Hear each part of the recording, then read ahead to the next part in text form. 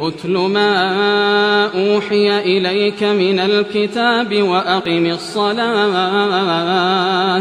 إن الصلاة تنهى عن الفحشاء والمنكر ولذكر الله أكبر والله يعلم ما تصنعون.